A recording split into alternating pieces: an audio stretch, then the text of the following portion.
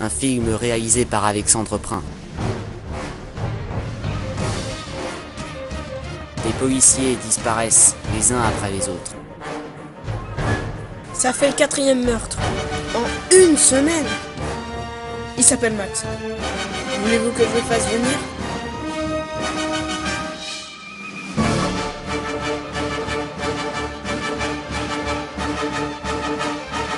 Il se raconte le masque, Mysterious et le général Wolf.